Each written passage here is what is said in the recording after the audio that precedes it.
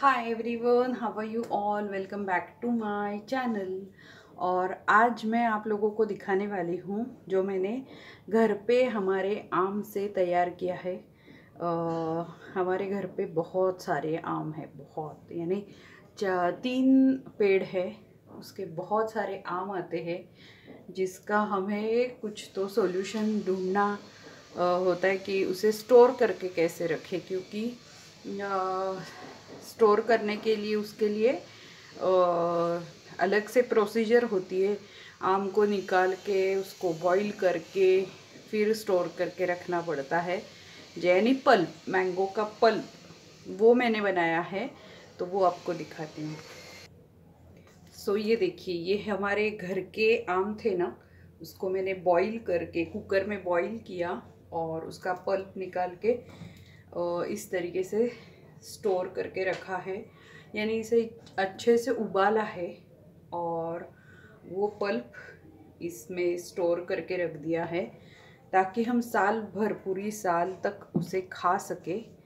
और जैसे कि मैंगो मिल्क शेक वगैरह हम बनाते हैं ना तो उसमें हम इसे ऐड कर सकते हैं।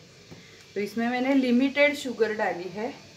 जब हमें अगेन यानी प्रिपरेशन करना है तब हम इसमें और शुगर डाल सकते हैं। तो अभी मैं इसका मैंगो शेक बनाने वाली हूँ। लेट मी शो यू हमारे आम। तो ये है हमारे घर के आम। तो इसमें से बहुत सारे आम मैंने कल बॉईल करके उसका पल्प निकाल के रख दिया।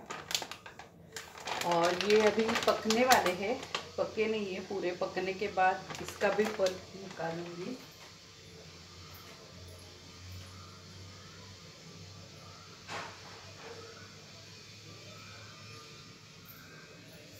अभी मैं बना रही हूँ इसका मैंगो शेक तो मैंने यहाँ पे लिया है दूध।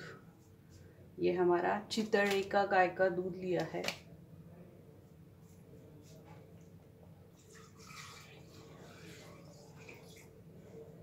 पहले डाला मैंने दूध। दूध में डालूँगी पर्ल।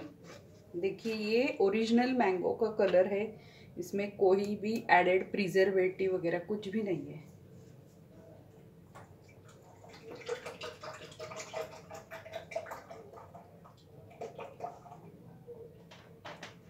तरीके से ये घर का आम का मैंगो शेक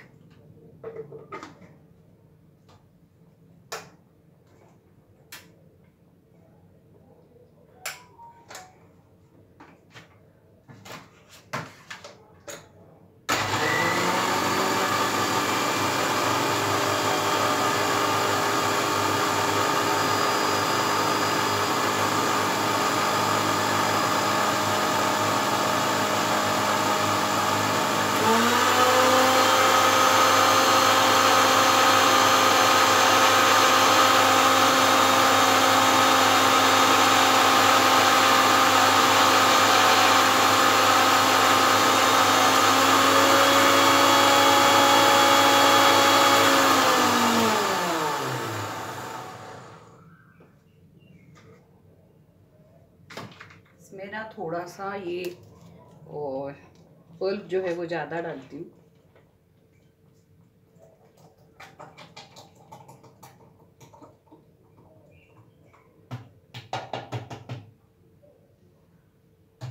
तो मैं ये फ्रीज में स्टोर करके रख दूँगी। बार बार बनाना पड़े।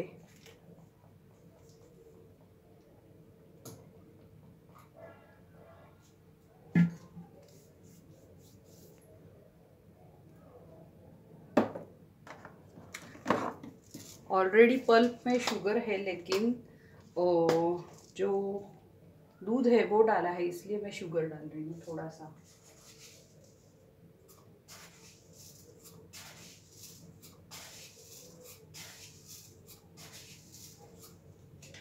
छः चम्मच मैंने शुगर डाली है।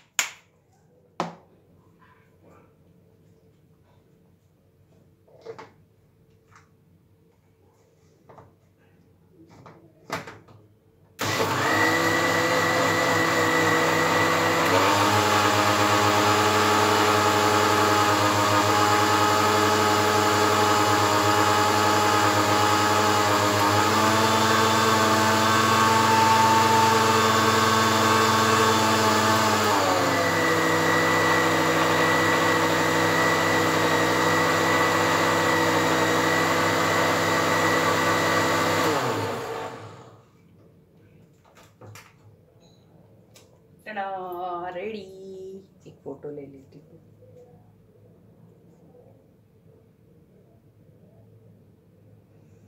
सो so, ये है मैंगो शेक जो मैंने बनाया घर के आमों से घर की आमियों से.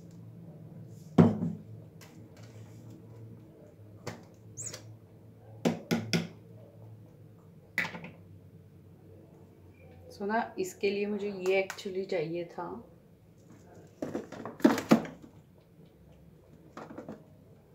ठीक है एक दो मिनट।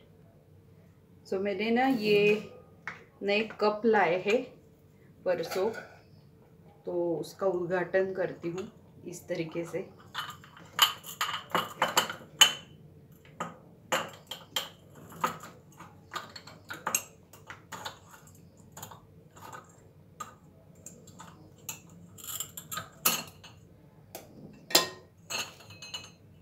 ये देखिए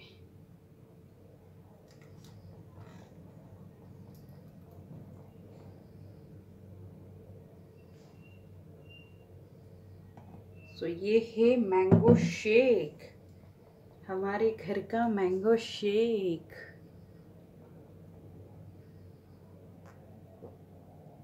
super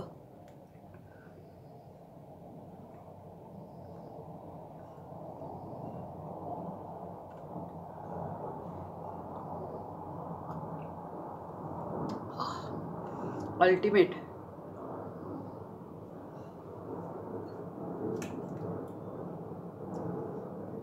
diet कैसे कर रही हूँ? देखिए फ्रूट का जूस पी के शेक पी के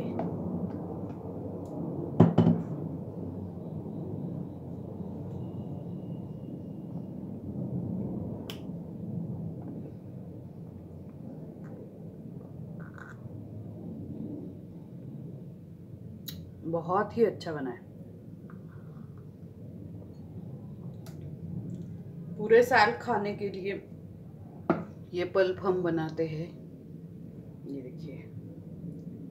ये आप पूरे साल तक खा सकते हैं। इस पल्प को एक बार बना के रख दो।